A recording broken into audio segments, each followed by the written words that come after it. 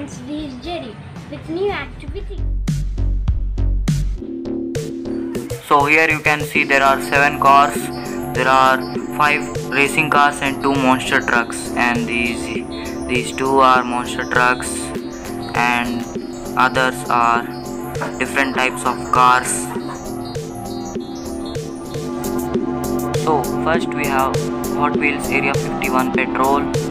It's a big monster truck which has big tires and its body is very small which is used in stunts.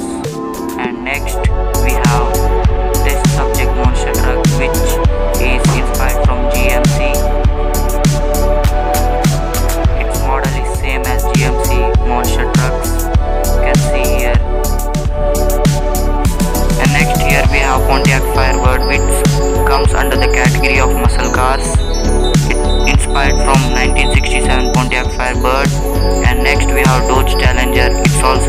car it's inspired from 1967 Dodge Challenger.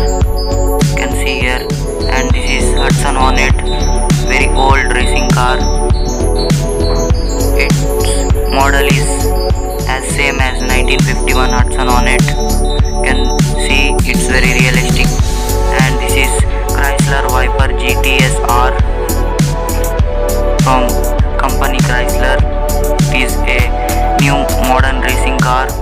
Its model is as same as the real life Viper GTS R and so these are my cars.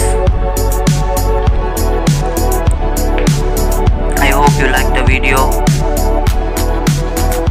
Please like, share, and subscribe. Thank you. Bye bye.